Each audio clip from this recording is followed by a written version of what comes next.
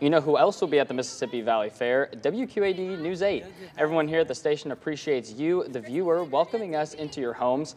And this is your chance to stop by and meet some of us. Come by our booth throughout the fair week from 11 to 5 to say hi, take photos, and become a meteorologist for a day with our interactive weather green screen.